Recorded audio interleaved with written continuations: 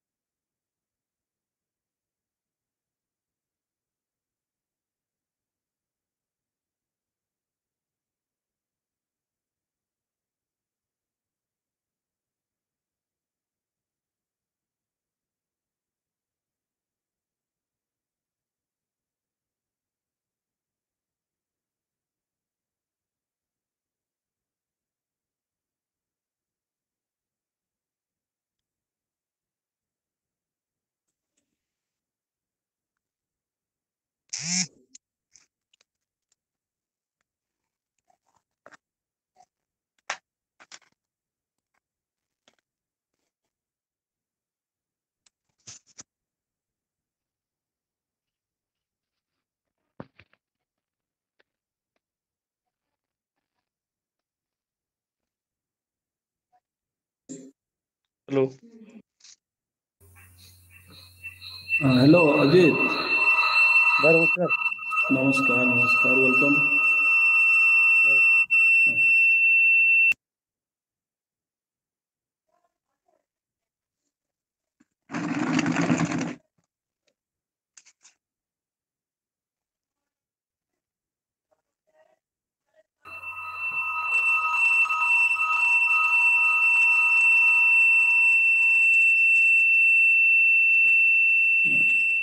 Hello, Ravi. Good morning.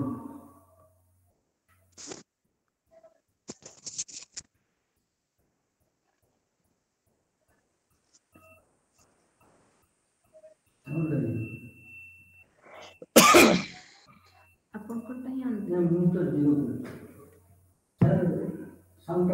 Madam.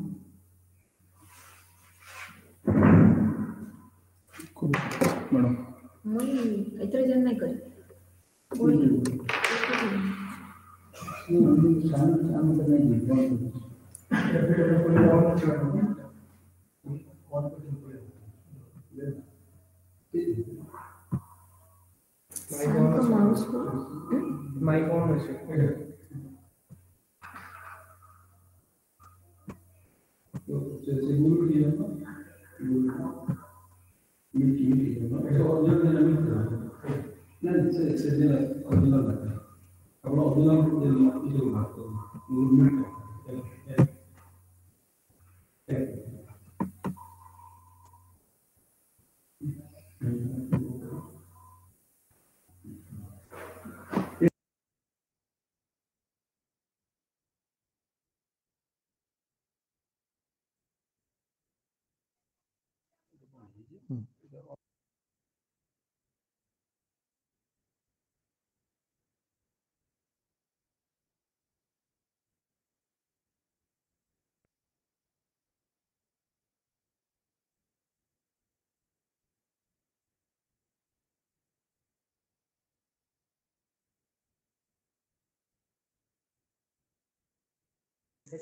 Ja, ohne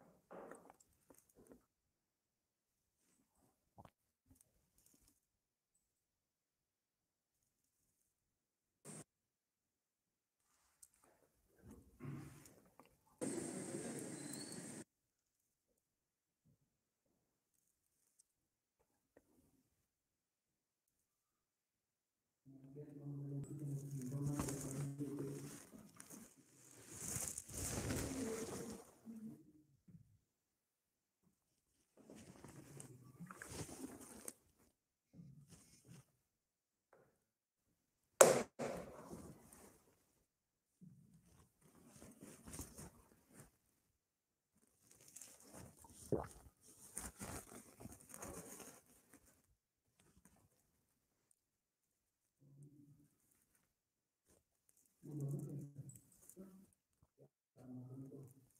madam કોણ? Good morning and welcome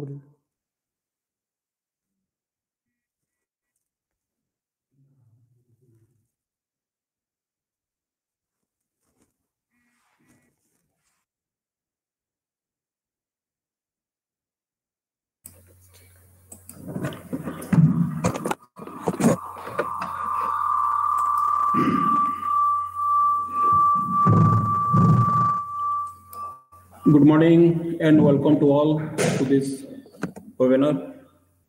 I request our head of the department, Professor U.C. Hota, to address the gathering. Thank you, thank you Dr. Badi. but Good good morning and and welcome to Pandit Lecture Department organized Organized the 80s of IPSC Lakshman I am I'm glad, glad. I am I'm delighted. I I'm delighted. I am exalted. I am immensely overwhelmed to welcome distinguished guests of the webinar, esteemed Professor C.B. Datta, Professor G.B. Nath, Research Fellow Hemchandra Pradhan, esteemed Principal Professor P.C. Pradhan, Professor S.K. Kumar, Coordinator IQAC and IQAC team, dear delegates, participants, colleagues, friends, and students, and well-wishers on the webinar and up the webinar. And hope the mind, the wind, the wave, the webinar to make the other world jealous. Don't be jealous. Jealous. Don't be jealous. India shall emerge a super economy, full globalization. Full globalization, India shall usher in brilliant economies, full globalization. Thank you. Thank you and welcome. Let's welcome all under the blue to the talk. And I now request Professor Tapan Kumar Barik.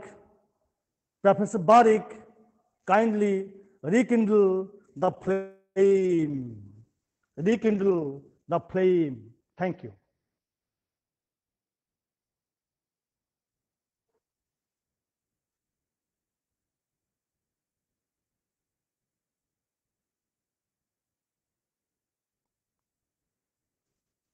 Hello ना सुबह sir on mute भी mic sir हाँ mute तो mic mute mute mute होइए okay okay अस्सलाम thank you professor होता respected principal Professor PC Padan, head of the Department of Economics, Professor Yusi Hota, other colleagues of the Department of Economics, respected colleague of Ellen College, Jarsugada, IQAC coordinator, Dr. Saroj Kumar, technical team of the webinar, respected participants from nook and corner of different universities and colleges, research scholars, all viewers, dear students, and respected resource persons of today's webinar, Dr. Sri Datta sir, Dr. G.V. Nath sir, and dear Ramachandra Pradhan. First of all, on behalf of the Department of Economics and IQAC L.N. College, Jharsuguda, I heartily welcome all to this webinar. After the introduction of perestroika and glasnost by Mikhail Gorbachev, in erstwhile USSR in general and introduction of new economic reform in India in the shape of liberalization, privatization and globalization by the then Prime Minister P.V. Narasimha Rao and Dr. Manmohan Singh in particular, we have completed around three decades. We are in the crossroad now, especially in the new era of globalization. Ahead of terrorism, the degradation of environment is biggest threat for the globe and for our existence. Question of sustainability is always sparking in the mind of social thinkers, environmentalists, world leaders, and economists. The demand and supply adjustment is always a question mark with respect to natural resources, employment and GDP, energy crisis, human health hazards, resource allocation, and in many unseen fields. We are forced to choose between devil and deep sea. Amidst such crisis, L.N. College Jharsuguda is organizing series of lectures in the name of great freedom fighter Pandit Lakshminarayan Mishra under the aegis of IQAC. Today's lecture is ninth in the series organized by the Department of Economics. We have chosen topic which are relevant to the globe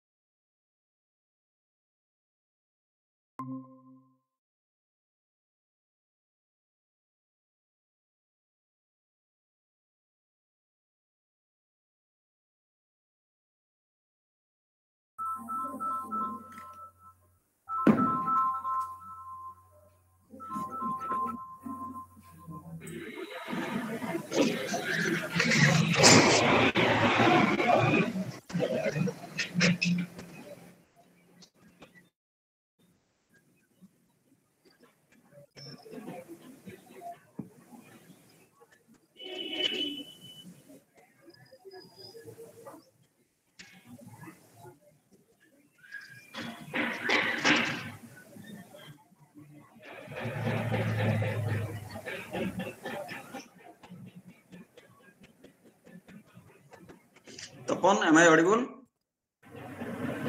Hello, Uh, Hello. Audible, sir. Audible, sir.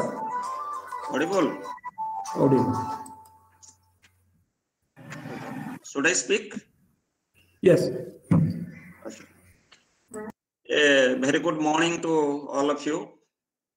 Today I would rather like to start this seminar in a different manner. It is not philosophy actually, and a society that we live in at times springs of surprises. It is so powerful that it modifies our understanding of life and even sometimes compels us to revisit our own wisdom of life. A man at the age of 65, after arranging all the logistics of family, sets out to fulfill his own cherished dream. And all of us, as you know, all of us dreams, but if dreams so affectionately cherished, most of the time do not scintillate to real life sensation. Yes, I am talking of that man, Sri Raj Kishore Pradhan, a retired bank official who enrolls himself a career in medicine only to serve the humanity at large. With saluting the great ideas and the great men behind it, I today starts the seminar. Again, a warm welcome to all of you and wish you a very, happy New Year's ahead. Esteemed speaker, Professor G.V. Nath, Professor. Datta, and young budding economist loving Hemchandra Pradhan on this occasion.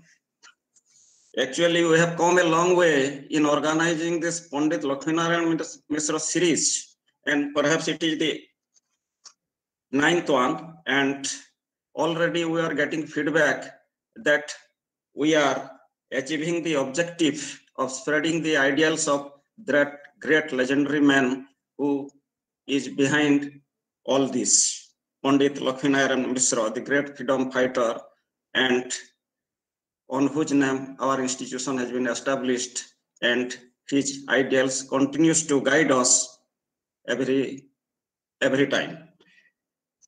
Professor G.B. Nath, I worked with him, sir, in this college, and very often you are a crusader of social justice.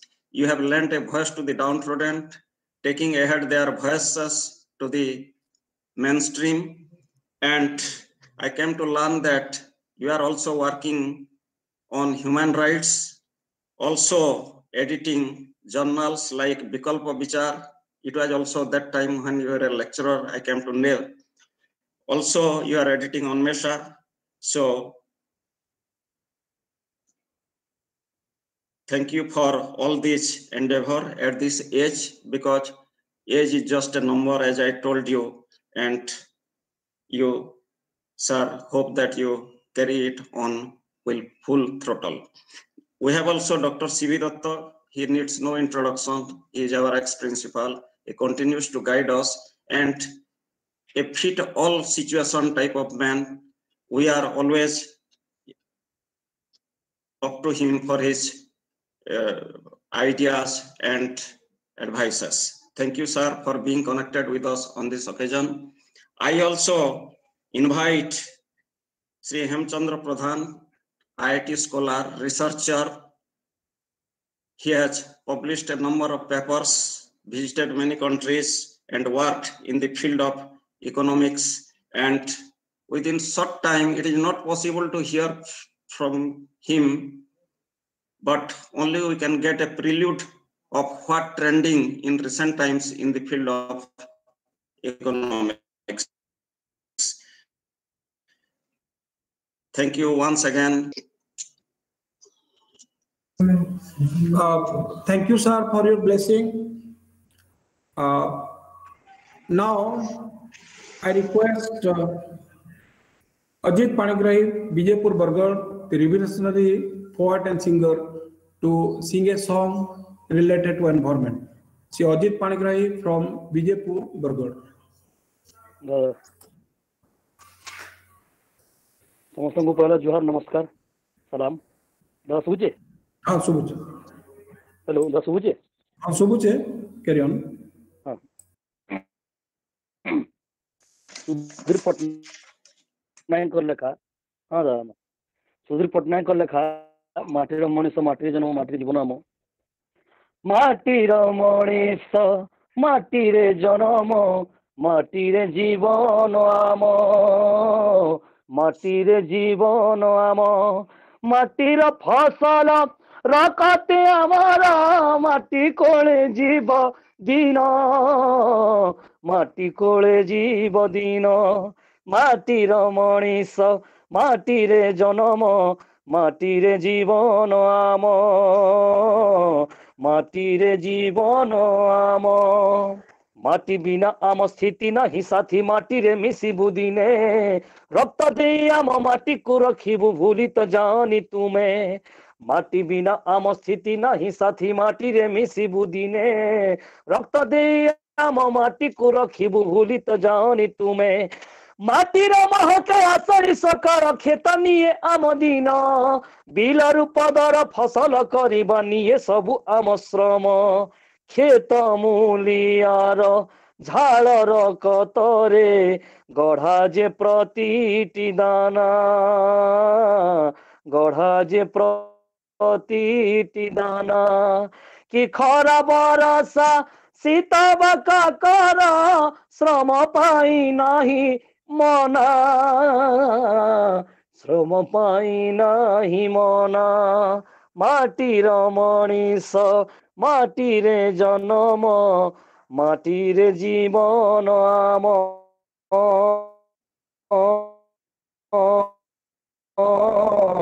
ମାଟିରେ ଜୀବନ ଆମ ଯେଉଁ ମାଟି ପାଇଁ ଜଗତ ବଞ୍ଚିଛି ଛାଡ଼ିକି ପାରିବୁ ଆମେ ରକ୍ତ ଦେଇ ଆମ ମାଟିକୁ ରଖିବୁ ଭୁଲି ତ ଯାଆନି ତୁମେ ଯେଉଁ ମାଟି ପାଇଁ ଜଗତ ବଞ୍ଚିଛି ଛାଡ଼ିକି ପାରିବୁ ଆମେ ରକ୍ତ ଦେଇ ଆମ ମାଟିକୁ ରଖିବୁ ଭୁଲି ତ ଯାଅନି ତୁମେ ତାକରେ ସାଗର ନଦୀ ନିର୍ଝରଣୀ ଜଳ ଆମର ଜୀବନ ଜଙ୍ଗଲ ସେଇଠି ପର୍ବତ ସେଠି ଜୀବ ଜଗତର ସ୍ଥାନ ଇତିହାସ ଯଦି ପଢିଛ ହେ କେବେ ମନେ କି ଆସିନି ପ୍ରଶ୍ନ ମନେ କି ଆସିନି मतिर सम्पद बिना किमी माटी र सम्पद बिना किमी लङ्ता तुम सभ्यतार चिन्ह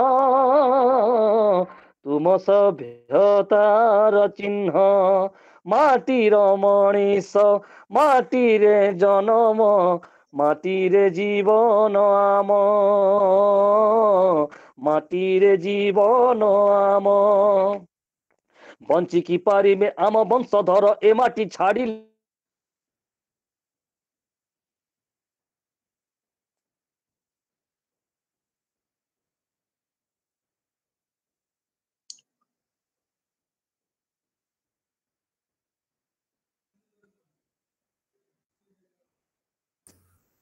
Uh, thank you, Ajit Bhai, for your revolutionary song and uh, thank for giving time to make the webinar successful.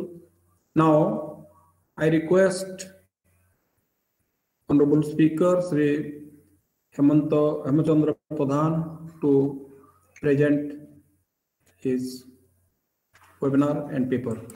Sri Hemachandra Pradhan. Thank you very much, sir.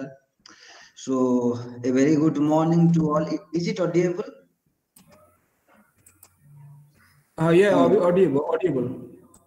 Yeah, so very good morning to all. And uh, it is my pleasure to be here and present uh, a topic related to economic globalization and how economic globalization relates with energy and uh, finally environmental qualities. So, yeah, shall I present now? The final. Yes, you can try.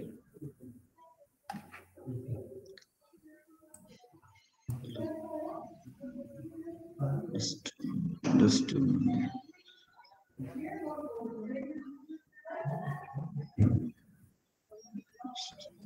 Can you see this tile?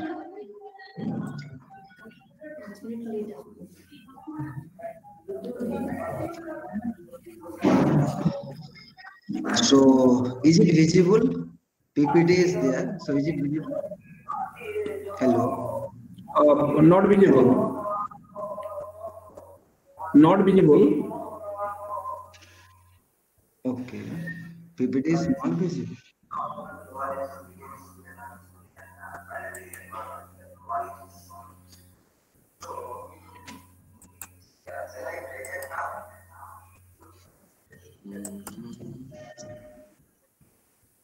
Just a minute. I just.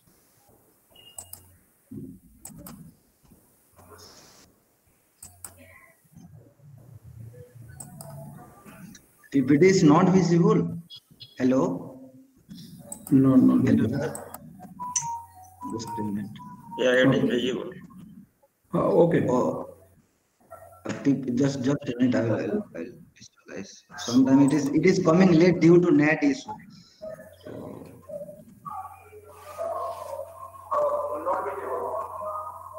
Yeah, yeah, yeah, yeah. Net not visible. Now it will it will it will come. I think it is coming.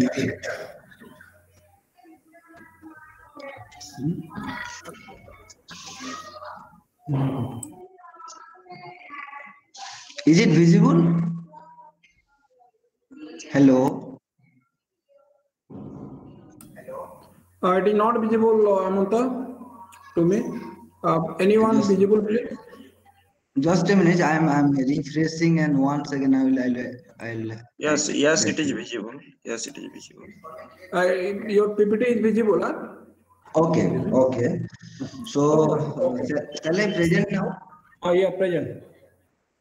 So once again, a very good morning to all. This is Samachandra Pradhan from uh, Department of Humanities and Social Science, Indian Institution of Technology, Madras, Chennai. So it is my pleasure to, to give a brief about economic globalization and how it's related to energy demand and finally environment and empirical analysis. Hello. Hello. Uh, yeah, visible, you present, huh? Yeah, okay, okay. So this is the outlines of the presentation. Uh, at the first slide, I'll I'll cover the introduction and what, what mean by economic globalization. Hello. I I would request to uh, uh, switch off the audio tab so that I can clearly present.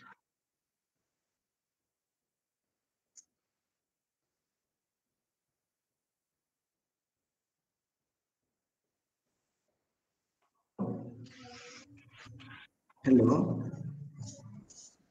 Hello.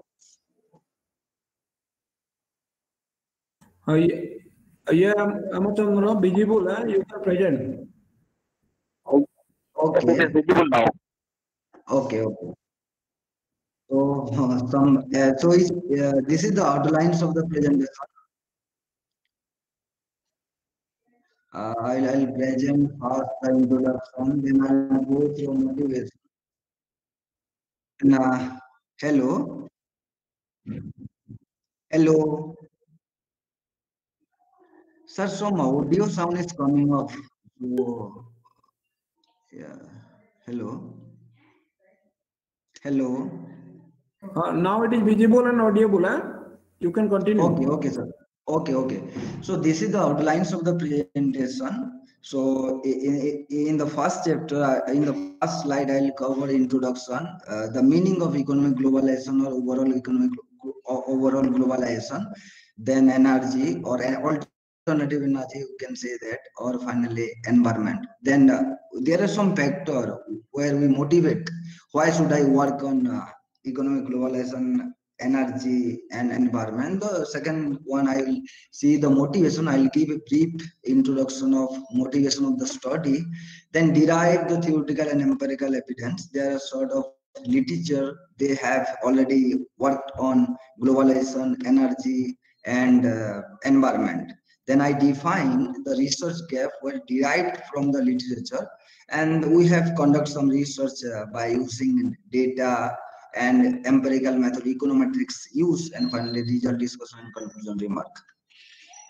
So this is the introduction. Uh, the world has been focusing more global when we are talking about globalization then the world has been focusing more globalization through social political and economic integration development of advanced technology international finance multinational operation or mncs transactional cooperation and international trade. In one side, we are looking how globalized economy is growing up from all multidimensional aspect. We are looking from social perspective, from political perspective, as well as economic perspective.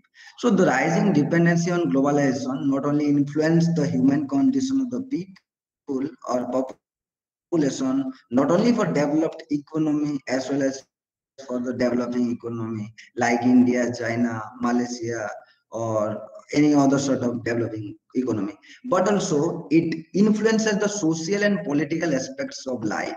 And finally, welfare is there.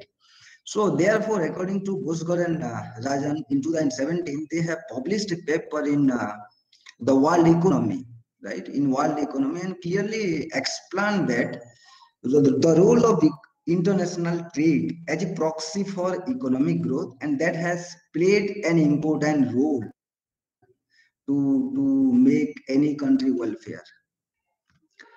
And uh, to make a relation between uh, globalization in one side and its impact on uh, uh energy.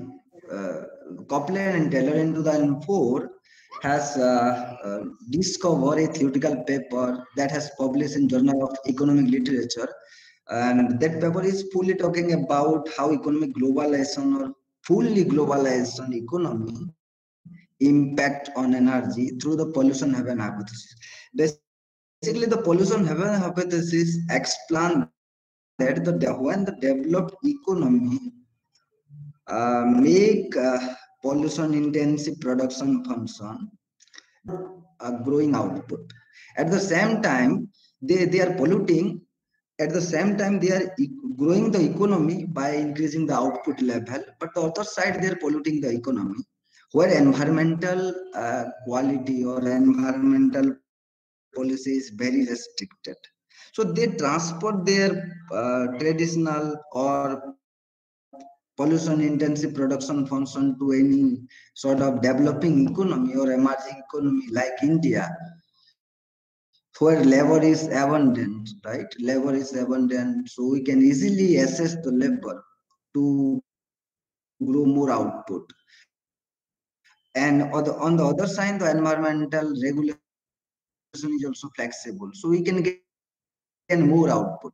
So in one side, we are looking for soft targeting or soft growth for the developing economy by rising employment generation program or increasing the per capita income of that country or investing more income on developing economy. But the other side, we victimize economy by rising population, right? So, so that is the current situation in a sort of developing country. We are looking the same setup for developed economy also. And later on in second section, a couple of literature are talking or increasing drastically and contributing to green gas emission. And this emission is uh, contributing a large number of air pollution, water pollution, and a couple of people are talking about carbon emission as a proxy for environmental quality. Right? So the relationship between globalization and the environment is explained theoretically and empirically by a couple of literature like Panjing and Seven and Mugyeon in 1982. So later on, Dunbus uh, in 1971 explained that uh, environment quality, environment quality of any developing or developed economy is fully dependent on trade flow or income or any other sort of factors of production. So it is essential to have a study on globalization and how globalized economy impact on environmental quality. So if I look at the historical data of, uh, of the globalization, then globalization have appeared after World, World War II or initially 1960 because of emergence of international trade and importance of multinational cooperation. It means, or indirectly, you can say that MNC, different companies set of uh, that are invested by foreign union, right? So later on, uh, in 1970, 71, we came across the collapse of Bretton Woods regime because of uh, uh, monetary shock or inflationary situation in the economy. So growth in that time, the growth rate was very minimal. So if I calculate the historical data to see the growth rate, what happened before 1991 when new economic policy came to emerge, right? So, so in that data, so if I look at 8070 to 1930, the, the volume of trade was only 3.4%, right? And after uh, 1930 to 1950, the growth rate of trade was very minimal. It was about to 1% because of uh, exchange control, different restriction given by government, not only for in developing region, but also for developed economy, right? So it was because of exchange control, then tariffs, of course tariffs, then quantity restriction, and finally World War Second or First. So it is very difficult to economy where uh, uh, where the output is very low, unemployment generation is not very much flexible, right? So later on 1950 to 1973, growth rate of trade was 9%. It touched uh, to 9% due to some way of flexible in exchange rate market. It may be floating or may be uh, uh, fixed exchange rate. So, but after 1973, due to oil shock or uh, Arabian Arab Israel war, the growth rate of trade declined drastically. Uh, it was happened till mid of 1980s, yeah, till 1980. But after 80s to, to uh, 1991, it started increasing. Then after 1991, when new economic policy came to emerge, the pattern of globalization was drastically visualized or given importance by different different authors, different different uh, organization, right? And now still the global pattern of globalization has been increasing. But if I see uh, the globalization in overall, we are only talking about economic globalization because we are talking about trade, uh, financial openness, but we are not that much of open in case of social globalization or political globalization because some country are uh, some restriction, rules and regulation. So this is the motivation to work on globalization and how it relates to energy. Or we can indirectly say that how economic globalization, when we are talking about globalization, basically we're talking about economic globalization. How economic globalization impact on energy demand and why should I have a study on uh, study on the role of economic globalization on energy. It may be renewable energy like solar, wind, biomass, or bio, biogas, or uh, uh, biothermal, right? Or in the other side, you can see the different pattern of global, different pattern of energy consumption. It may be coal, may be oil, or may be natural gas. So if I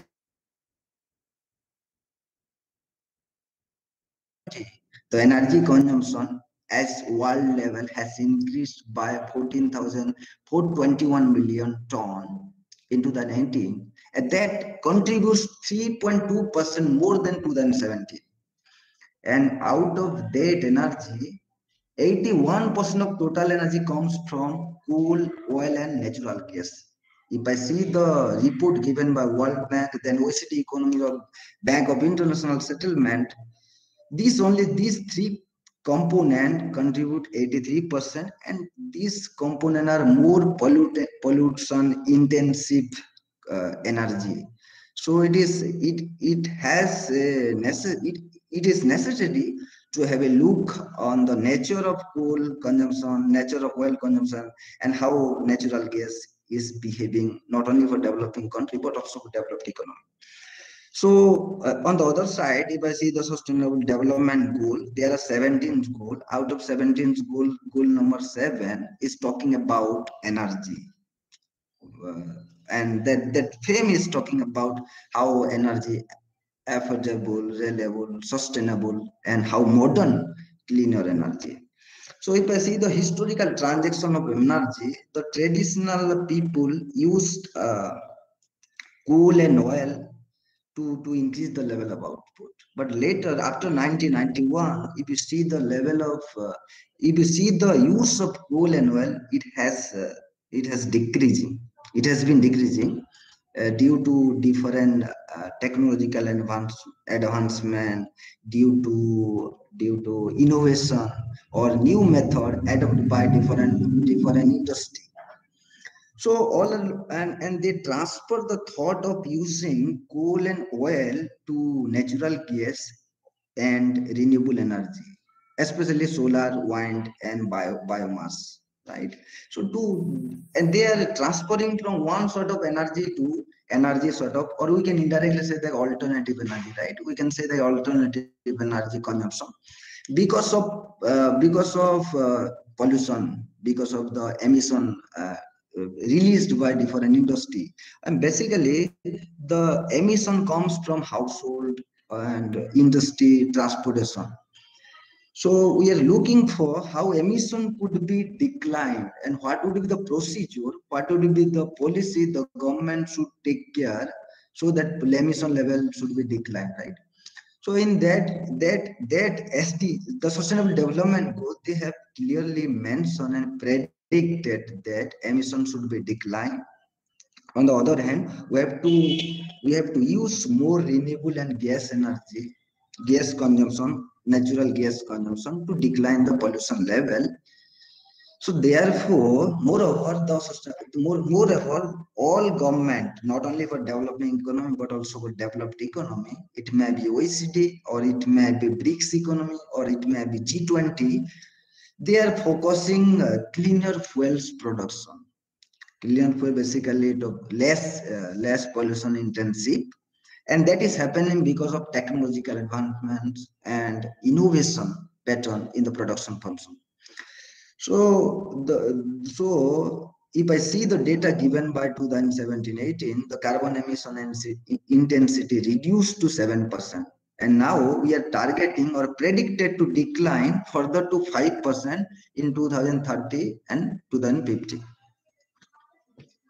and on the other side, how globalization relates to environmental quality, right? Uh, CO2 emission is a proxy of environmental quality. So according to BP Statistical Review of World Economy 2020, the OECD economy, it means the Organization for Economic Cooperation and Development, contributes 37.2% of emission in 2017, whereas the non-OECD economy contributing 62.8% of emission to the total energy, right? So if I see the World Bank classification, there are 246 countries, but if I see the OECD, if I see the UNDP, only 189 countries are there because they have they have uh, enrolled the member country, right? Only 37 OECD economy but they are contributing 37.2% of emission, whereas other other if I deduct 37 country from all country, then other country contributing only 62.8% of emission to it, total total energy. So, and that is very much higher than European Union. If you see the European Union, then they contribute only 10.6%, African country 3.6 6%. Although African countries, uh, low developed economy, they are very much scared about environmental quality. Middle East uh, contributing only 6.3%, Europe 12.6%, and subsequently North America 18.3% respectively. Therefore, it is important, it is very much or essential also to reduce the CO2 emission for sustainable development or to have a better quality of environment. Therefore, the OECD and uh, International Energy Agency predict the re, re, now we use renewable energy is only 17% to total energy. So it is predicted to increase the renewable energy to 85% in 2050 and that could be possible if we increase the awareness if we increase the modern way of technology, innovation way of technology to decline the emissions level. And these are the some uh, theoretical and empirical literature which have already conducted by different group of author, not only for Indian author, but also for a sort of author who was who have already recognized on energy. So why energy is important? There are some sort of literature, Reddy and Subramanian 1979, Ram Kumar Hugels 1981, and subsequently there are other authors, they are talking about energy is important or energy consumption is important in ecosystem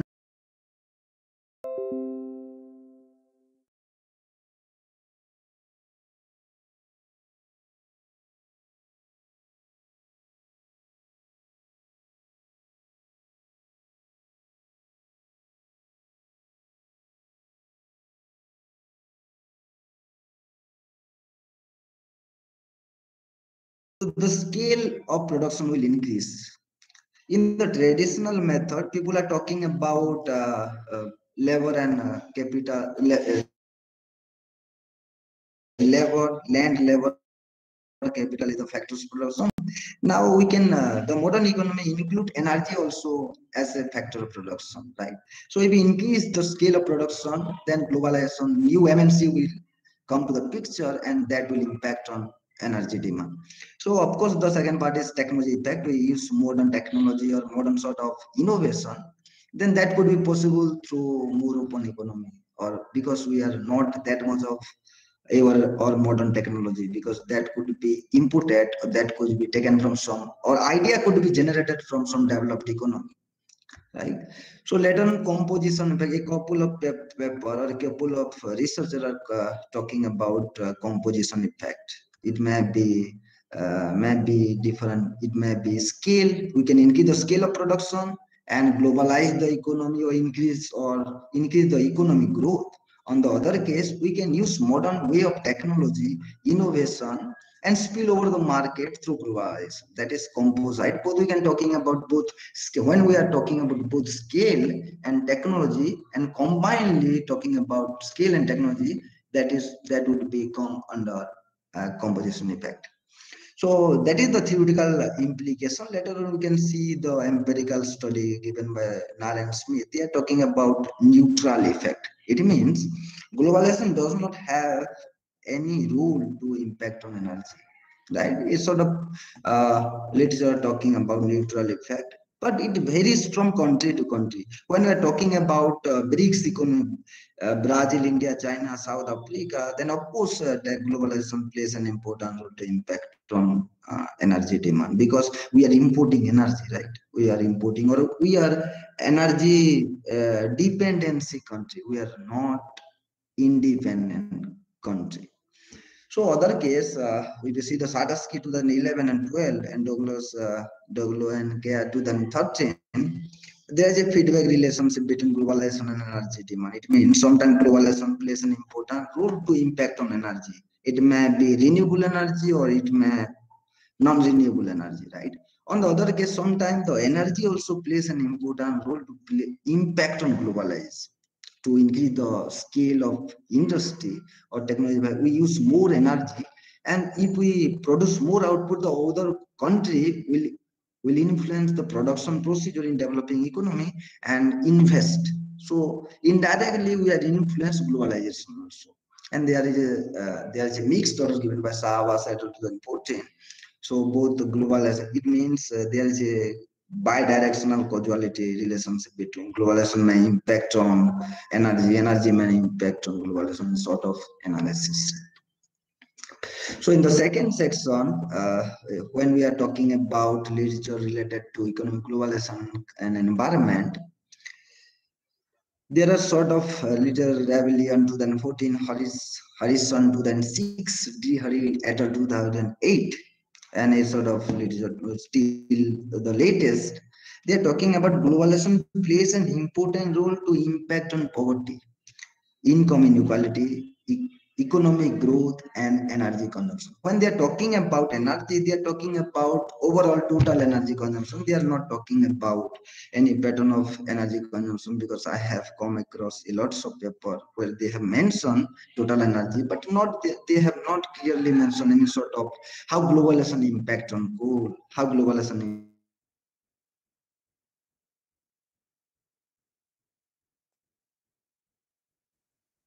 impact on oil shock. We are talking about how positively or negatively. It means when we are talking about globalization improve the environmental quality, it means if we follow more globalized economy, the environmental quality is growing up and CO2 emission is declined. We are using such type of technology. It may be energy efficient technology that mitigate the economic growth by declining the CO2 emission, right? For our future generation. On the other side, globalization increase the CO2 emission. It means globalization degrade the environmental quality by releasing more CO2 emission, right? It may be because of uh, more energy used in the production function without caring the environmental quality, without caring the filterization of energy, right? So it is very much essential. It is not for personal view. It is uh, given by the World Bank, OECD. They are targeting or environmental economists are targeting how to declining the CO2 emission in global level.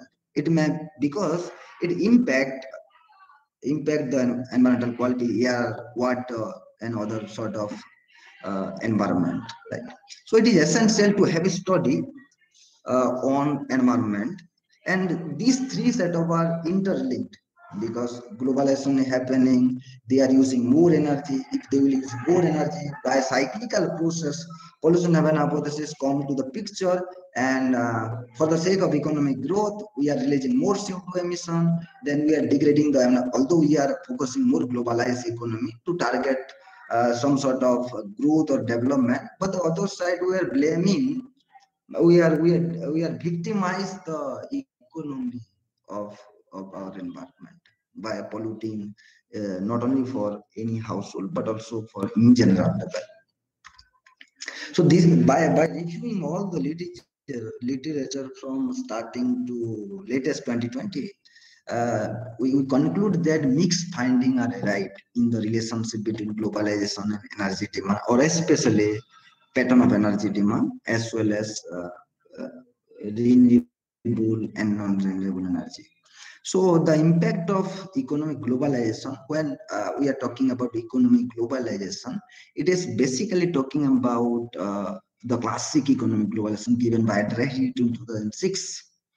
Um, and now the different environmentalist uh, innovate different definition or proxy for economic globalization, uh, like uh, Gusgar 2018 described economic reconstructed economic globalization by including some restriction, right? So later on, revisited economic globalization came to the picture. Uh, so different pattern of level of economic globalization there. Therefore, I mentioned economic globalization in plural form on energy is high important for policy. So it is very much essential, not only for a, a country level, but also for world level to, to see a picture to visualize the relationship between eco economic globalization and how its impact on energy demand. Further, it is also important to study renewable energy policy along with economic complexity. I have mentioned one word, economic complexity. When we are talking about economic complexity, it is it it basically comprises skill-based knowledge or knowledge-based knowledge, capability, approach, structural transformation that has been happening not only for developing economy but also for developed economy. And that is happening to to increase the awareness among people about the emission releasing in industry as well as household and third one is empirical study. We are using the latest data by using uh, by by using latest data we validate the same sort of to developing country as well as developed economy. And finally we empirically validate the validate the pollution haven hypothesis with if there is an environmental strict policy then how the uh, pollution level what is the pollution level and how it react to economic growth? Same thing uh, it is happening for developing country as well as developed economy so for that analysis, uh, we have already conducted an analysis and sort of publication has coming up in very good journal. So basically we have to use these data. So I have mentioned this data to, to give a clear picture about the relationship between economic globalization, a pattern of energy or alternative energy or transformation of energy from from uh, non-renewable to renewable. That has been happening. And finally how it impacts on environmental quality. So data we have used the data on energy consumption coal oil and natural gas and level of economic globalization that has already discussed the classic uh, economic globalization index. That is also called as classic economic globalization given by Dreher then reconstructed revisited economic globalization and economic complexity data on CO2 emission, other macroeconomic variable as per the literature, that that may place an input that may play an important role to impact on energy as well as uh, environmental quality. So these are the some uh, advanced econometrics method which we have used to conclude a empirical result. So these are sort of so I, I am skip I'm skipping this because it may be difficult to understand. So as for our result, uh, we, we conclude that economic globalization promotes renewable energy demand across economics. Basically, we are talking about OECD economy because they are in earlier term, if you see the OECD economy were total energy, they, they called it energy supply country, but now they are consuming, they are declining the consumption pattern, they're declining the uh, selling of energy to any developing country or emerging market economy because self-consumption is there. They basically they are using energy to to road construction, right? To to industry establishment and other sort of activities, household. On the other side, in general, we are talking about if more economic globalization, then uh, renewable energy will be there. It means if we openly uh, trade with any country, we get some knowledge about the pollution, right? So we are declining the emission by promoting renewable energy. It may be solar, it may be wind, or it may be water. We can use that and to, to make production that that is very very less harmful to the environment and finally economic growth will be there so on the other section we have deeply gone through some work and see when uh, we are talking about globalization we in the earlier term we are talking about renewable energy in general term. Later one we conducted some study whether it is for lower section, middle section, or upper class, who is responsible to uh, promote renewable energy, right? So we, we conclude that the lower section uh, and upper section are degrading environmental quality or they are not in favor of renewable energy consumption use. When we are looking about lower section, they they can't go for renewable energy because they they unable to get a get a meal per day right? So we can't say you go and use solar or you convert water marine water to uh, sweet water. So it is very difficult because they they unable to sustain a life. How can we say uh, to to use some expenditure of in or your part of income to to renewable energy so it is very difficult for them to survive by using renewable energy on the other case, when we are looking for the uh, upper class, so uh, they are they are also not using renewable energy. Why they are not using? Because they have capable to use, but they are growth oriented pattern or structure. They are following growth orientation, growth oriented pattern.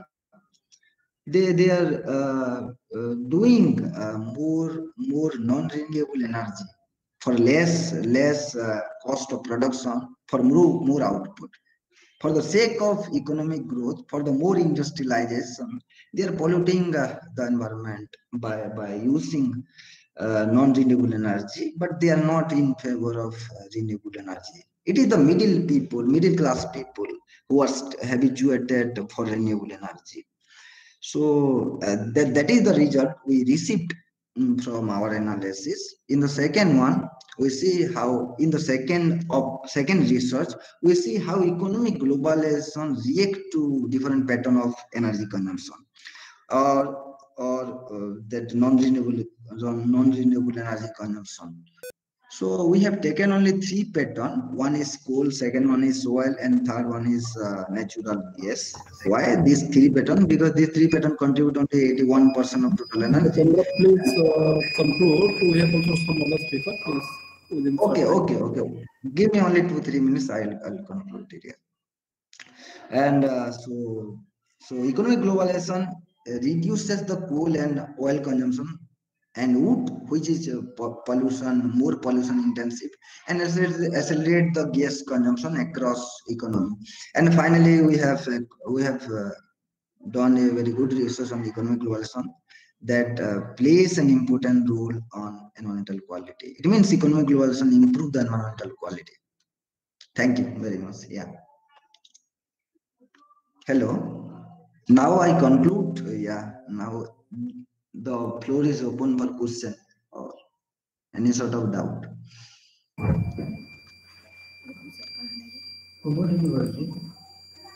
Uh, thank you, Hemachandra, for your nice presentation. Uh, Thank you, definitely very big topic.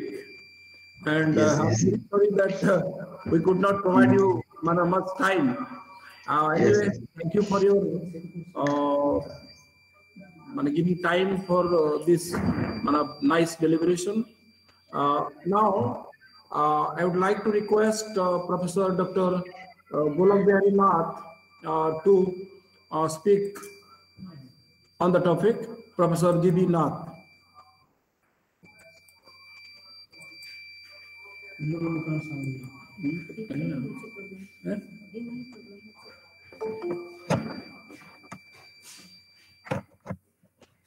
Oh, beta. More serious only.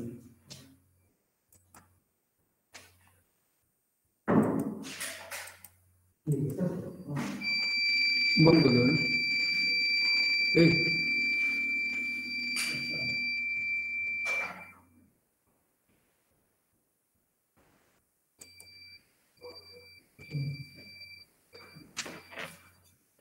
Circle और देखना है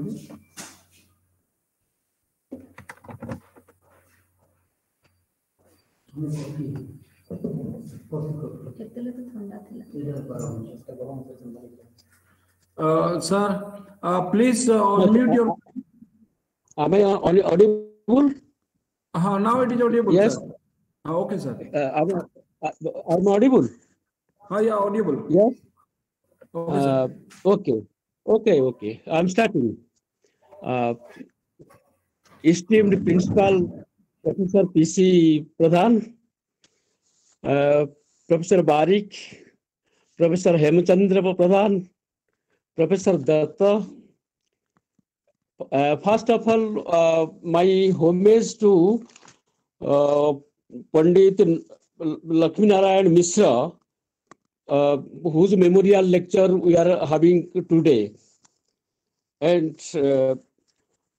my, I will be just presenting my talk in three uh, mm, parts. The first part I want to devote that what is globalization and how far the globalization affect the environmental situation in the country.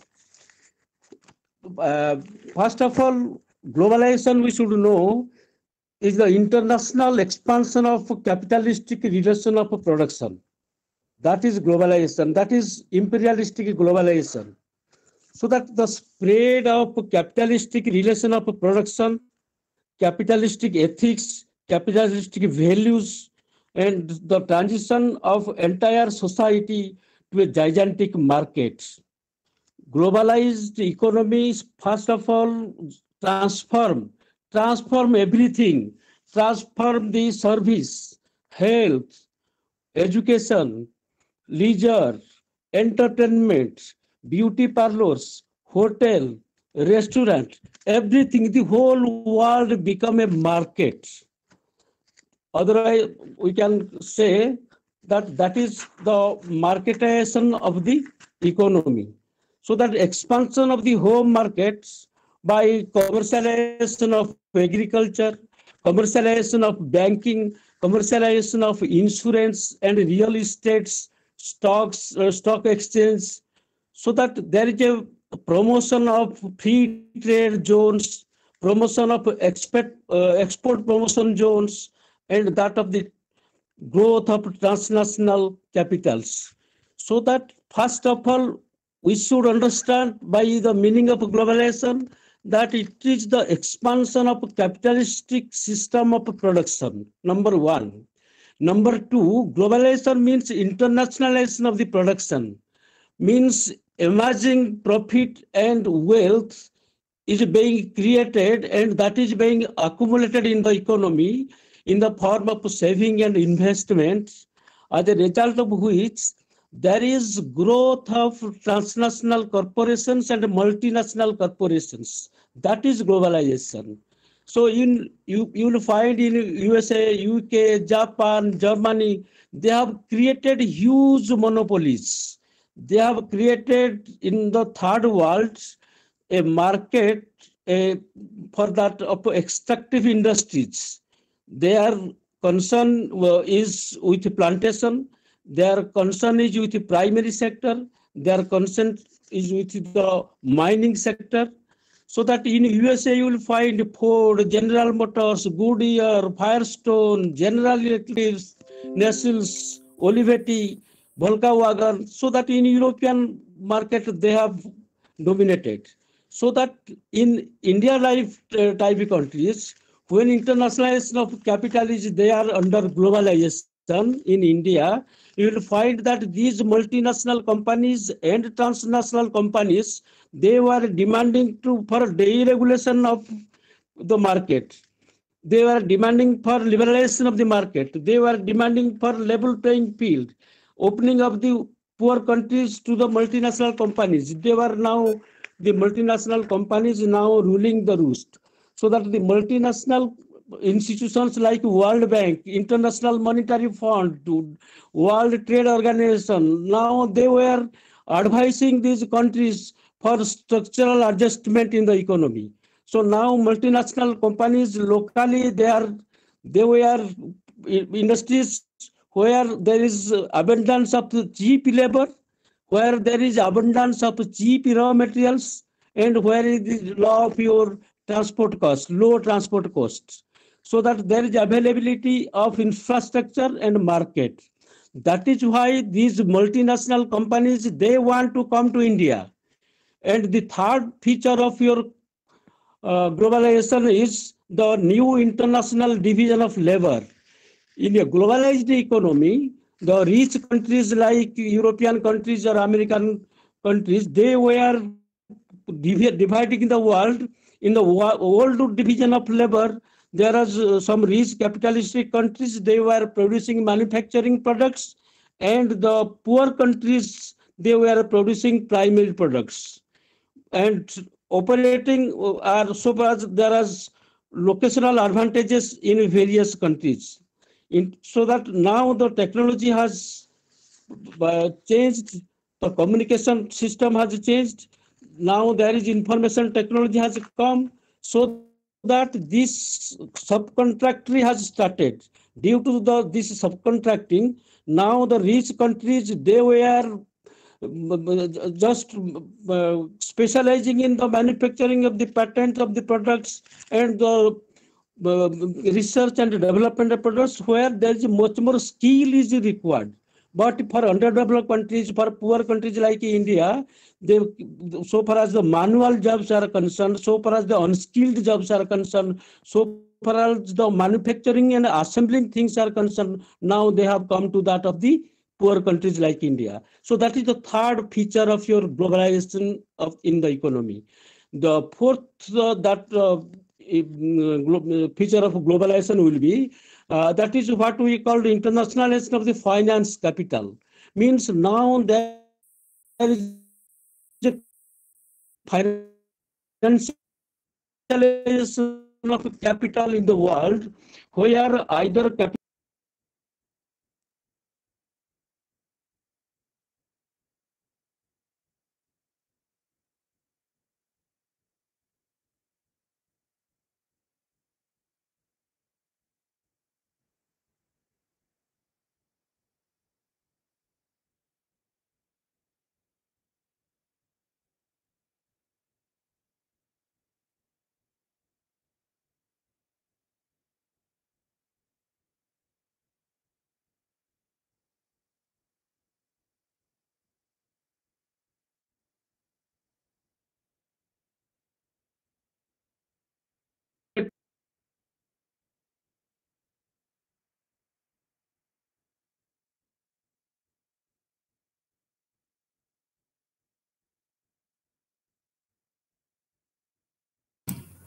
Hello, sir. Any technical problem?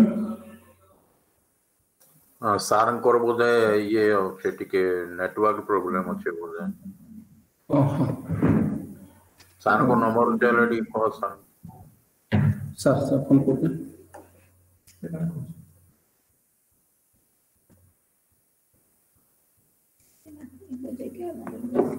ಇದು ಗಾಡಿಗೆ ಬರೋ ಕಾರಣ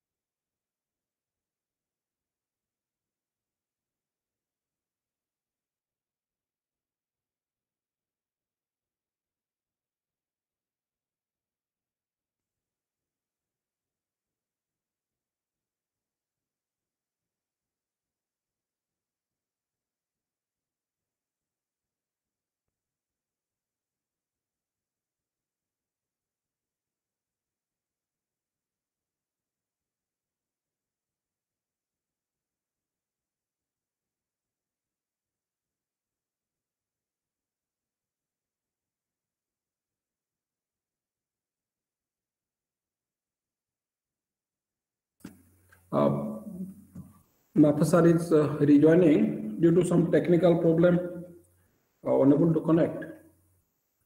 Uh, we may take him uh, during the question answer session. Huh, huh, sir.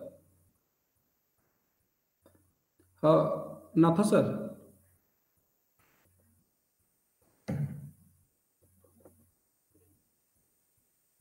Mike. Uh, not uh, Mike, Mike uh, please unmute sir. Sir please unmute.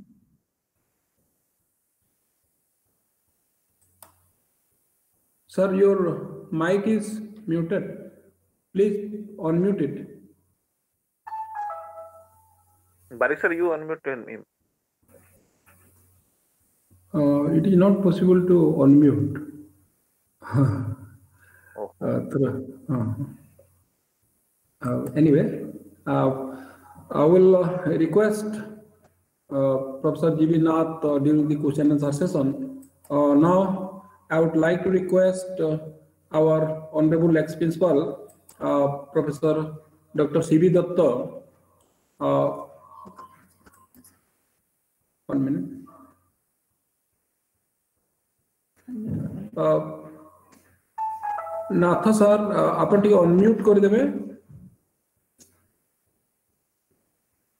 तो सुना दो उन्हें।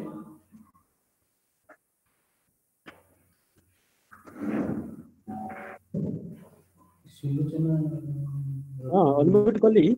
हाँ हाँ सर अबे सुन सुन ला गोटे हाँ, कौन तो सर? कोई भी। हाँ, अच्छा मुँह वो I was talking about the features of globalization I was talking about the features of globalization and I have, in that sense, I have uh, already talked that globalization means that of the uh, internationalization, that is the internal expansion of the capitalistic relation of production, that is the imperialistic globalization is going on. Second, I have told that internationalization of the production, now the production is being uh, taken out by various multinational companies and transnational companies. I have also told about that of the new international division of labor. So it was hard up to that uh, since i think up to hard that thing. Is it? Hello? yes, sir up to the division of labor you have told. Yeah. that those things i have already told. And now uh, about the internationalization of the uh, finance capital, that is financialization of the market. So the crisis in the one of the countries that is spreading from one country to other country because because now there is the international in, uh, interdependence is being increasing in various countries. So that speculative capital, that is the capitalist is spending or investing the money in the stock market, share market, and the debenture market. As a result of which they have turned the market into a gamble of that of your chain of gamble, which is just like a casino. As a result of which the real economy is suffering. And the next feature that I am talking about is that of the mm, in a globalized economy, all these multinational companies and transnational companies, they were asking for the honorable countries like India to privatize their economy, to liberalize their economy, to liberalize the- their trade and industries, to expand the unwanted restrictions which are there in the economy, to uh, get over those restrictions, so that there is globalization and liberalization of the economy. When you are globalizing the economy, you are bound to liberalize the economy because they were interdependent. Globalization privatization and liberalization they were interdependent so in the interdependent world when we are having globalized capitalistic economy we are opening our economy we are opening our trade and commerce we are opening our that of the market for the uh, multinational companies and we are also privatizing our own public sector undertakings these are the features of globalization. In such a capitalistic economy, in such a globalized economy, we want to just now, what is this? So far as the environmental concern is there? So now the earth is becoming warmer day by day when we just using coal, we are using gas, we are using oil. So now fossil fuels that are now uh, the modern society is being more dependent on that of the coal, gas, and oil, so that they were producing carbon dioxide and in the in the sense oxygen and that of this carbon when they are mixing there is much more carbon production of carbon dioxide so since the, when there is pre-industrialized world these carbon dioxide emission were quite less but now in the industrialized world we will find that 1.1 1.1 percent that is increasing in the um, heat or temperature of the world. So that uh, the question is who is polluting the world? Who is em- emitting the carbon dioxide? It is the industry which is emitting the carbon dioxide. Much more carbon dioxide is being emitted by the consumption of energy. Consumption of energy in the sense consumption of oil consumption of gas and consumption of coal. Then the second one that is the most important pollutant is the industry. 21% of the pollution is coming from industry. 35% of the pollution coming from that of your um, energies. And 24% of the um, carbon dioxide is coming from that of your agriculture like deforestation or um, uh, uh, transportation and that of the building. So transports uh, is having 14% contribution towards that emission. And if you take into consideration the areas rural and urban areas we will find that rural area hello hello hello Uh, sir, audible. Continue. Huh? Uh, the, the, the urban sector is more responsible for that of the emission of carbon than that of the rural areas. Only rural area contribute 30 per 30 percent and urban area contributes 70 percent of the emission of the carbon dioxide. So which nation is responsible? If we will take talk of the advanced countries and the backward countries, we will find that in 2018, 7.9 percent of the uh, billion of tons of carbon dioxide was emitted. So this uh, China was the co- contributing 11.3 billion tons of carbon dioxide. USA was contributing 3. Uh, 5.3 billion tons of carbon dioxide and India's contribution was 2.6 percent of the carbon dioxide. So that these are the countries, the rich countries, they were emitting much more carbon dioxide. Country-wise, we will find that the rich countries were contributing more. Then sector-wise, we will find that the energy sector is emitting more carbon dioxide. And by area-wise, we will find that the urban areas, they were contributing more carbon dioxide. So that the root of the problem in the world is the use of the energy sources like coal, that is of gas, and industrial development which is taking place now. They were dependent on that of the coal and oil and gas. That is why there is much more uh, emission of carbon dioxide in the world. So now, uh, if will take into consideration the emission per person, will find that European countries and American society, they were contributing their per head money contribution to this uh, pollution is much more. So the um, uh, so far as the profit uh, uh, interest capitalism is there, capitalism is a economic system which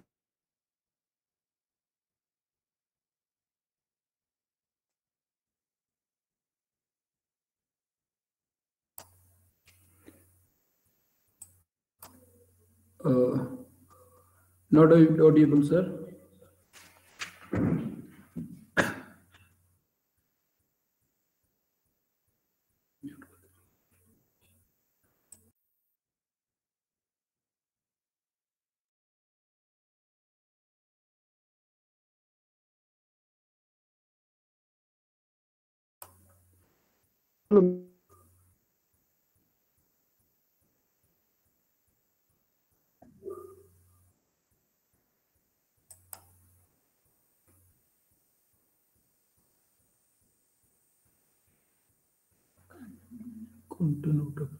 Saying the resource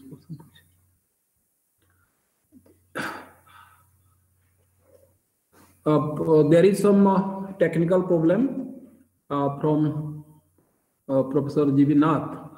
Uh, we'll invite him during the question and answer session. And now I would like to request our honorable former principal, Professor C.B. Dutta, to speak few lines on the topic. Professor C.B. Dutta, sir. Thank you, Tapan. Thank I you, hope sir. I'm audible and visible both. Okay, sir. Okay. We are already into one hour and 22 minutes by now. So people are gradually losing their interest. So let me sum up a bit about the alternative energy nobody had talked about. Uh, because uh, on the economics and economy, uh, Professor Nath and uh, Mr. Hemachandra have already they have talked. Uh, respected principal, Pradhan Babu, dear brother and HOD economics Uttam Hota, my colleagues and those who are in this meeting. Since I'm an ecologist, I prefer to talk on alternate energy and how it will influence economy. Now, uh, a lot of countries and a lot of uh, developments have occurred throughout the world with the development of science and technology. But uh, an UN estimate tells us that around 1.6 billion people do not have electricity till now, and another 1 billion to 1.5 billion they do not have a good water supply. I'm talking about uh, small countries in Africa, Southeast Asia, and elsewhere, where this kind of a situation is there. Now, why is such a situation has arisen? Why we are unable to provide them with the basic amenities that they should have? That is that we have discarded and neglected the mother nature. Mother nature has a bounty to offer us. Mother nature has a lot of resources which we can utilize. It is made for all, it is meant for us. But uh, since we have exploited and overexploited the mother nature, we are facing difficulties like, and it has uh, all the mechanism to equalize with us. And in the shape of Corona, it is doing so. Yesterday, I was watching KBC, that uh, Amitabh Bachchan show. Padma Vibhushan Anil Kumar Joshi was there as a Karmavir. He is an environmentalist and he has taught people in the Himalayan and sub-Himalayan region of how to use nature to get alternate energy. He had got a chakki, that uh, Gaham Pisa chakki kind of thing with the flow of water, harnessing that hydropower energy from that natural streams and natural nalas present in their area. He has taught them how in the mandir like Vaishno Devi, Kedarnath and Badrinath, the mandia and the bajra which were not utilized and the mocha which was not utilized as a profitable crop there, he has talked to the shrine and uh, made uh, the prasadam made up of this uh, mandia, this bajra, and this uh, so that the farmers got benefited. What I'm trying to talk about this is that the non-renewable energy sources are gradually depleting. Since they are gradually depleting, we're investing more and more to get them out for the mining purpose. Cost body body chaluchi, since everybody is following Odia, it is better that I talk in that language. যেহেতু cost বড়ি বড়ি চালুচি তাঙ্কর extraction পাই ଏବଂ ତାଙ୍କର extraction ପାଇଁ ଯୋଉ ଜାଗାରେ ଆମେ mining କରୁଛେ ସେ ଜାଗାର ନ୍ୟାଚୁରାଲ ରିସୋର୍ସକୁ ଆମେ ଧୀରେ ଧୀରେ ତାକୁ କାଟି ଚାଲିଛେ ହାଣି ଚାଲିଛେ ତାର ଅବକ୍ଷୟ ହେଇ ହେଇ ଚାଲିଛି in one hand the cost of production is increasing, the value of the market price of these resources are increasing, fossil fuel, coal, etc., and etc., etc. Simultaneously, the degradation of the environment. Has anybody talked about gote gacha katigale kete amar khyati hochi amar economy ko in terms of the uh, oxygen produced, in terms of the soil it is producing, in terms of the fertility it is giving to the soil? No, nobody is thinking about that while cutting a tree. Nobody is thinking about that while cutting the tree for exploiting minerals and all that. Now, we have looked into the social impact. We have looked into the environmental impact. We also should look into the economical impact of any such kind of exploitation that we are doing. And it is the 50th anniversary of Earth Day we are celebrating. Earth Day is celebrated in April the 22nd the theme for 2020 of Earth Day is climate action.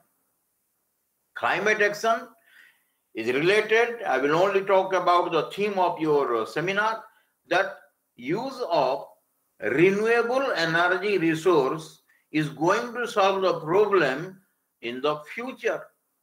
Now, what happens? There is a concept now of environmental economics which undertakes theoretical and empirical studies of the economic effect of national and local government or environmental policies around the world. তার মানে cost benefit এবং alternate environmental जो policy ताकू deal करे से pollution हो water quality हो toxic substance रो हैंडलिंग हो बा अन्य किछ हो एको एनवायरमेंटल इकोनॉमिक्स रे हमें इंक्लूड करिछु renewable energy resource have a ability to complete or compete the world uh, energy demand or the world uh, okay energy demand बोली कहा जाऊ ताकू କାହିଁକି ନା ଧୀରେ ଧୀରେ ଏ ନନ୍ ରିନ୍ୟୁଏବଲ ଏନର୍ଜି ରିସୋର୍ସ କମି କମି ଯିବ କିନ୍ତୁ ନନ୍ ରିନ୍ୟୁଏବଲ ଏନର୍ଜିରୁ ଯୋଉଟା ଆମେ ଚାରି ପ୍ରକାର ଏବେ ଆମେ ୟୁଜ କରୁଛୁ ୱିଣ୍ଡ ଏନର୍ଜି ହେଲା ହାଇଡ୍ରୋ ପାୱାର ଏନର୍ଜି ହେଲା ଯୋଉଟା ପାଣିରୁ ବିଜୁଳି ଶକ୍ତି ଆମେ ପାଉଛୁ ଏବେ ଆଉ ଗୋଟେ ଟାଇଡାଲ ଏନର୍ଜି ୟୁଜ କରୁଛୁ ଆଉ ଗୋଟେ ହେଲା ଜିଓ ଥର୍ମାଲ ଏନର୍ଜି ଚାରିଟା ଏନର୍ଜି ଏବେ ୟୁଜ ହଉଛି ସବୁଠୁ ବେଶୀ ୟୁଜ ହଉଛି ହାଇଡ୍ରୋ ପାୱାର ଏନର୍ଜି ଯୋଉଟା ହୀରାକୁଦ ଡ୍ୟାମ ଭଳିଆ ଜାଗାରେ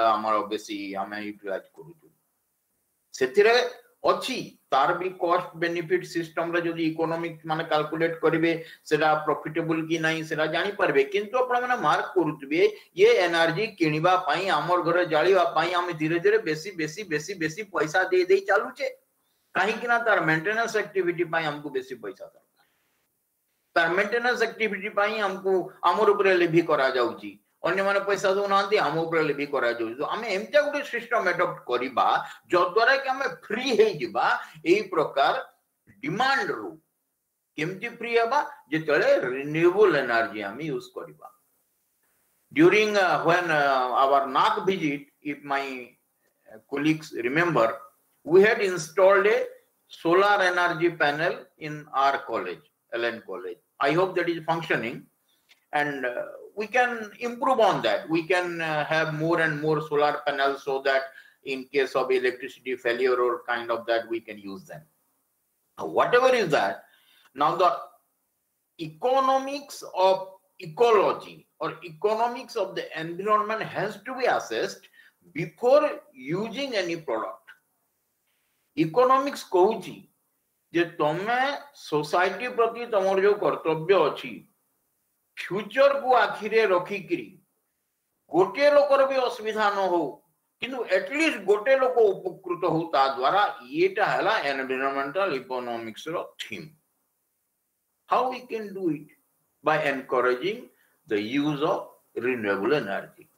ଜଣେ ମତେ ଜୋକରେ କହିଲା ଆଜ୍ଞା ସାଇକେଲରେ ଯିବେ ସାଇକେଲରେ ଗଲେ ଇକୋନୋମିକ ଏଫେକ୍ଟ ହବା ଇକୋନୋମି କେନ୍ତା ଏଫେକ୍ଟ ହବା ଆଜ୍ଞା ଇକୋନୋମି ଏଫେକ୍ଟ ହବା ପ୍ରଡକ୍ସନ ବନ୍ଦ ହେଇଯିବ ବାଇକର ଲୋକ ବେଶୀ ସାଇକେଲ ଚଲାଲେ bike maintenance wala book morbe etc that's why the joke he was uh, doing on me but whatever it is when people start using such kind of energy to commute less use of fossil fuel that will have a greener greener earth why a greener earth because ଆମେ ଗୋଟେ carbon footprint ଆମେ ଛାଡି ଛାଡି ଯାଉଛେ carbon footprint ଟା ବଢି ବଢି ଯାଉଛି carbon footprint is equivalent to carbon dioxide emission carbon dioxide এবং মিথেন গ্যাস যেতে প্রচুর পরিমাণে আমি ছাড়ি ছাড়ি যাউছে এনভায়রনমেন্ট রে এনভায়রনমেন্ট কু নষ্ট করে করে চালুছি গছ কাটি করে যাউছে অক্সিজেন প্রোডাকশন হউনি কিন্তু কার্বন বড়ি বড়ি চালিছি which will gradually come to a situation where the world will not be very much habitable so I was very much impressed by Anil Kumar Joshi's talk yesterday in KBC, and I support his views that always the development and the ecological uh, use of resources should be in a manner which should have a profit for the society but should not harm even a single person. Nature, it is a common property. You are using Nadiku, you are using Samudraku, you are using, I am using. It's a common property. It's not anybody's uh, own property. So such common properties while using, they do not get depleted. ପୃଥିବୀ ଥିବା ପର୍ଯ୍ୟନ୍ତ ସୂର୍ଯ୍ୟ ରହିବ ପୃଥିବୀ ଥିବା ପର୍ଯ୍ୟନ୍ତ ନଦୀ ରହିବେ ନାଳା ରହିବେ ଗୋଟେ ପ୍ରୋବ୍ଲେମ ହେଲା ଯେତେବେଳେ ଆମେ ରିନ୍ୟୁଏବଲ ଏନର୍ଜି ୟୁଜ କରୁଛୁ ଅନ୍ୟ କାହାକୁ ସେ ଏଫେକ୍ଟ କରୁନାହିଁ ମନେକର ପାକିସ୍ତାନରେ ବହୁତ ପ୍ରକାର ପଲ୍ୟୁସନ ହେଲା କି ଆମେରିକାର ମେସିନ ଫେସିନ ଚାଲିଛି ତମେ ସିନା ଗୋଟେ ସରହଦରେ ଜମିନ ଉପରେ ବାଉଣ୍ଡ୍ରି ଲଗେଇଦବ ଆକାଶରେ ବାଉଣ୍ଡ୍ରି ଲଗେଇବ କି ଏଇଟା ପାକିସ୍ତାନର ଆକାଶ ଏଇଟା ଇଣ୍ଡିଆର ଆକାଶ ଏଇଟା ଆମେରିକାର ଆକାଶ ସେଠି ଯଦି ଘରଘର ନାଦରେ ଚାଲିଲା ମେସିନ ଅକ୍ସିଜେନ ଇଣ୍ଡିଆରୁ ବି ଟାଣି ହେଇକି ଯିବ ସୁତରାଂ ସେଠିର ଡେଭଲପମେଣ୍ଟ ଆମକୁ ଏଫେକ୍ଟ କରୁଛି which will be lessened when we use the renewable energy resources so it's time to look into the future it's time to adopt a green technology it is time to see a situation, assess a situation where the three pillars of the development, like the um, uh, society, the environment, and the development should go hand in hand. I hope I have taken my time already. Thank you for inviting me and over to the Panbari for uh, discussion. Thank you. Uh, thank you, sir, for your nice deliberation. And uh, we are fortunate to have you in our uh, webinar. And uh, time is uh, 12.30 and uh, we are behind uh, 15 minutes late probably for question and answer session. Anyway, I will take uh, one or two question. Uh, uh, Professor Nath, are you They are online. Professor Nath is online. Yes, uh, yes. I, uh, any, yes, any question? One, one question for you, uh, may not be related to this. Yes. Uh, question is, uh, what will be the fate of Indian farmer in this age of uh, globalized India? Uh, Shyamlal Naik, uh, professor of political science from uh, DB College, uh, Bhatli. What will be the fate of Indian farmer in the age of globalized India? Uh, Uh, thank you, thank you. Very nice question. Actually, when we are disturbed and in the Bhatli Bargarh areas, he must have seen that how after globalization of the economy, how government of India has reduced the subsidies to the farmers. So now that the cost of inputs are going on increasing, why the cost of inputs are going on increasing? Because now the Indian farmer is in the hands of the multinational companies. The multinational um, uh, fertilizer companies, the multi- multinational, that of your um, pesticide companies, the seed companies, now they want to capture Indian agriculture. During the Green Revolution period, they have captured the Indian agriculture.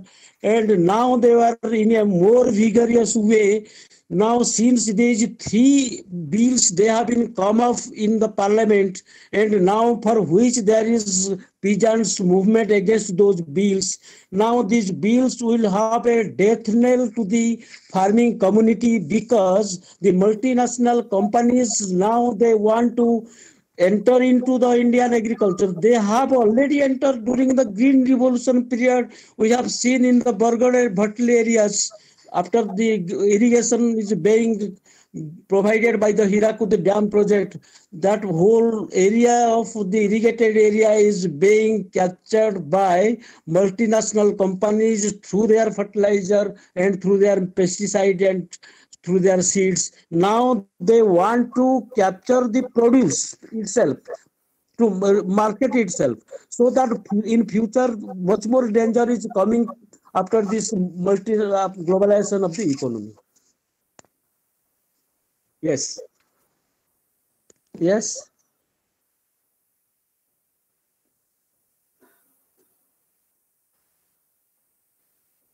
So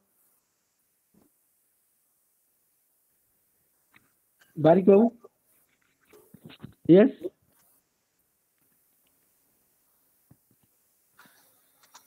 Can I talk? Sir, you're audible, sir. Audible? No, I have already finished. Yes. I uh, I replied it to the question. Yes. Hello. Hello. Uh, I replied to the question. Uh, uh, I, I want to ask uh, this question to Professor Dutta. Uh, The question is asked by Dr. Santosh Patra. It's asked whether any restriction to explosive rise of carbon emission due to vehicular emission in urban forest, that is urban concrete forest. Well, uh, the standards uh, have been already there, but then the manufacturers and their uh, people who are helping them, they do not follow these standards very scrupulously. Actually, uh, there is a situation, suppose there is a factory in your area it is emitting a large amount of carbon dioxide. And you are not benefiting from that, you are harming from that. So either he pays you to have put you in an uncomfortable situation, or you pay him so that by do not emit more carbon dioxide. This is a kind of situation that should be there. If a particular vehicle is emitting uh, pollution beyond a particular level, he or she should be fined. He or she should be penalized. So uh, in case of the factories and so in case of all kind of polluting agencies. But nobody listens to that because of absence of a strict protocol and absence of a strict law against it. Thank you. Uh, Thank you, uh, Professor Dutta. Uh, Another question is there. Uh, Actually, time is uh, 12:35. We are five minutes ahead of time. Uh, So we'll not take more question. And uh, the feedback link is given, and I request all the participants uh, to fill up the form for the certificate. Now, I would like to request uh, Dr. Saroj Kaur IQAC coordinator to extend the vote of thanks doctor Saroj Kaur please extend the vote of thanks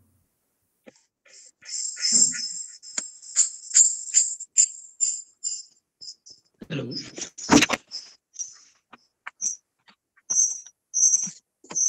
hello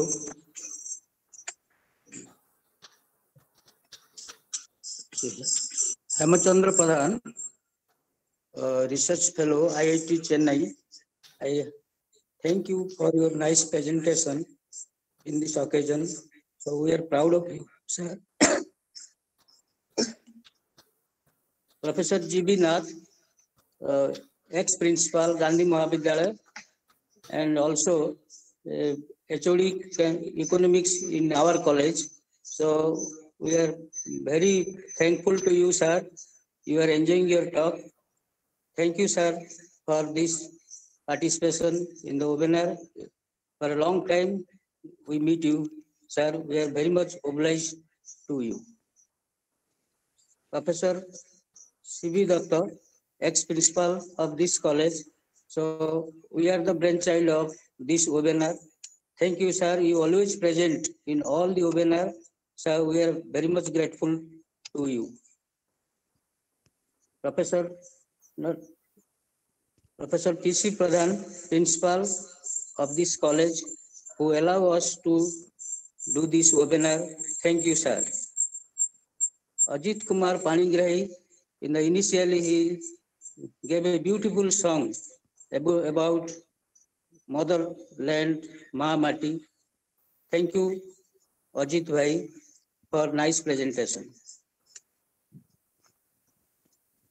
Professor Uttam Charan Hota, HOD Economics, and his team, Tapan Kumar Barik, Japani Patel, who have a very much helpful to do this webinar.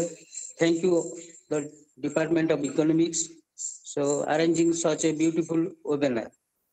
Thanks all the students who participated and also teachers and scholars from different colleges. So we are thankful everybody to have a successful webinar. Lastly, I thank our technical team, Swarnamoy Purohit and other members who help us to have a successful webinar on this day. Thank you, everybody. Thank you all. Uh, Thank you, IQC Coordinator Dr. Kaur, for uh, providing us platform to organize such a beautiful uh, seminar. And uh, on behalf of the Department of Economics, I extend all my thanks and pranam to all. Namaskar.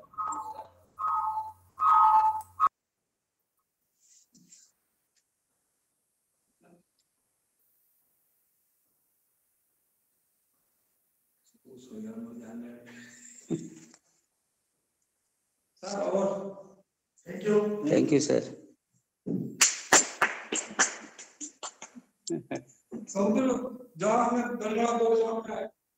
Everybody is happy. It was a good seminar, Saroj. It was a good seminar.